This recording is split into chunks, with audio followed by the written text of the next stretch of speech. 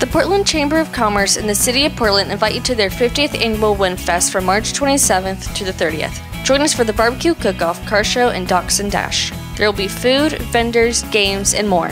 Visit windfest.org for more information.